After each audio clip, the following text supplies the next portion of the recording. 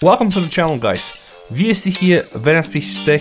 In this video I'm gonna give you 10 tips for maintaining optimal performance on your Samsung phone. Could be the S21 Ultra like in my case, should work on any Samsung phone, specifically the ones using latest One UI 3 or One UI 4. What am I talking about? I'm talking about this nasty lagging which is actually almost everywhere in the interface from One UI. Swapping for the notifications will sometimes get you like opening the camera, closing the camera will get you some stutters, even going into the recents menu will get you some stutters, or going to the left to get to the Google information will also get you some stutters. Now, as you can see, my phone right now behaves quite good, no stutters at all, and I'm gonna give you guys what are my top 10 secrets to maintain this in its very good shape. Believe it or not, tip number one is going to be just restarting the phone. You can do this very easily, guys. You can just scroll down from the settings. You have a power button here, okay? You can press it and then click on the restart. Or you can hold the power button on the phone for a few seconds and then just, guys, press restart. Your phone will restart, you'll re-enter your PIN and SIM lock, and hopefully you'll benefit from this. Once your phone is restarted guys, just wait a bit and hopefully it will run a bit smoother. And every time you do restart your phone or even also update a software, just give it some time, right? It will have to load all the widgets, everything from the very beginning. Tip 2 is also linked to restarting, but there is a, yeah, trick inside. So guys, hold your finger on the power button, okay? And once you get the screen with the power off restart and emergency mode, just get your finger and hold the power off button until you see something called safe mode. Okay, tap it and then your phone is going to be restarted into the safe mode. When should you use safe mode? Well, it's just like a Windows PC, guys. If you have suspicions that one of your applications is not performing quite well, then yeah, you can use it. Once you're in the safe mode, your phone is going to disable all the connections, Wi-Fi, mobile, internet, and etc. But what is more important, it will also disable all of your third-party applications. So you'll have only access to the stock applications like a game launcher, the clock, all the stock Samsung applications, and everything that you have installed, every third-party application is going to be resumed. So let's say if I want to open your music right now, I cannot because downloaded app is disabled in safe mode. And you can use this safe mode once you're inside and your phone just suddenly starts to behave a bit better, right? Even you can try to put the data back, right? And just try use YouTube, try recreate a scenario where your phone is lagging. If the phone behaves better now, then yeah, probably you get a better application and you can use safe mode of course to get rid of it. Now how do you get back? Yeah, you can just restart the phone normally or just click here turn it off, and then your phone is going to restart in a normal mode. My next tip will be wiping or deleting the cache partition. Now, how does this work guys? You need to enter the recovery mode. The best way for you to do this is just hook up your phone into a laptop. So I have a cable here that is connected to my laptop. I'm just going to put it on my phone, all right? Now, power off the phone by holding the power button, click power off, okay?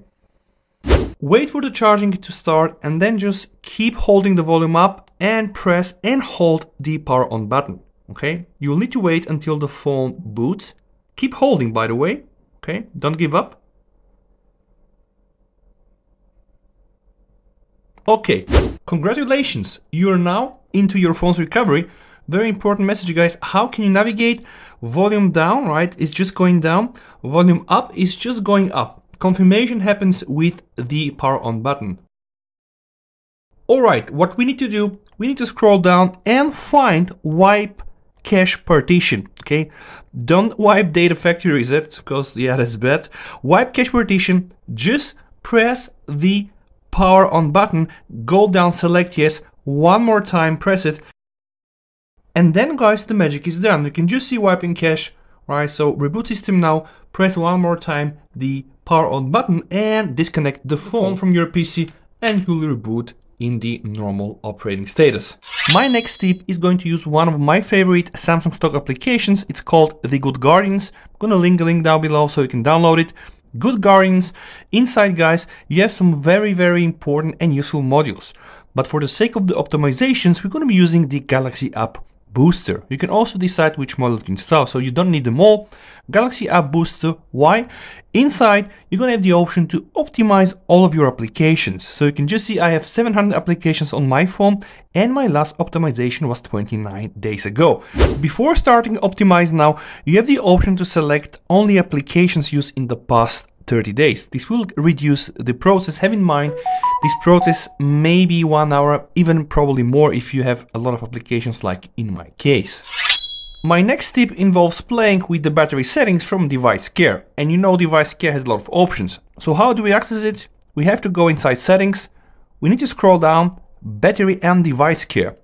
Once you're inside guys, click on these three dots and clicks to automation. Here we have a lot of options. The first one is daily auto optimizations. Now enable it, but also click inside to try to set it on. What this option will do, it will auto-optimize your phone once a day, but you have to choose exactly when should this happen. In my case, this happened 3 a.m. because I'm sleeping, and I had decided to not close up to free up memory, because I just want to have all my apps open as much as I can with one UI, of course. But if you want to take it to the extreme, you can also select the close up to free memory, which will mean that every day at 3 a.m. your phone is going to close all the application and it's going to free up some memory. The other also very useful option is the auto restart at set times. So once you enable this option, go inside and choose which days this should happen. Right now, I do have it only on Monday, so let's decide I want to do it also on Wednesday. And of course, I can go inside and set the time. This will mean that the phone will restart automatically within one hour of the time I've set, in this case 4 am in the morning. It will only restart when the screen is off, so you're not using it, and the battery is above 30% and of course the SIM card lock is off. So in my case I'm not using it because I'm using the screen lock but it is also an option for you to optimize your phone's performance. Also adaptive power saving. Turn power saving on and off automatically based on your usage pattern. Let's enable that one as well.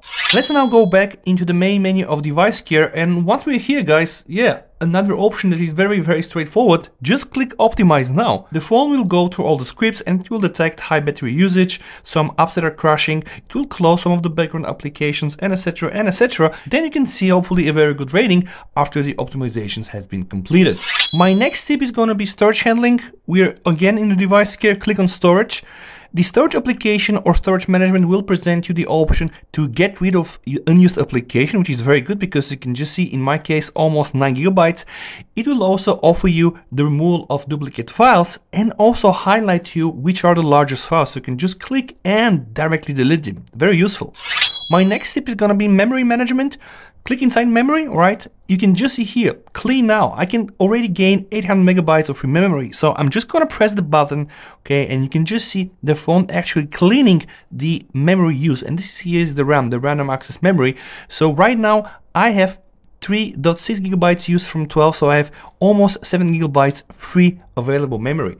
And if you don't want a phone to kill one of your favorite apps, yeah, you can just always go into the excluded apps and just add them in this list, which will mean that every time you perform this cleanup activity, those applications are gonna get excluded. Now guys, we're at the end of this video and I really hope after you implementing all these tips, you're gonna have a smoother experience like in my case and I'm demonstrating right now I don't have any problems with stuttering. My phone behaves buttery smooth, but don't get me wrong guys, it's One UI, so yeah, it will still perform a bit sluggish sometimes. Sometimes you're gonna have these occasional stutters, but if you do this maintenance like the way I do it, then you probably improve your performance and the phone should actually treat you better if you treat the phone in a better way. I really hope that this video was useful to you. If that's the case, don't forget to really like the video, subscribe to the channel guys, and please you and your families stay safe. Until we meet in one of my next videos. VST over and bye.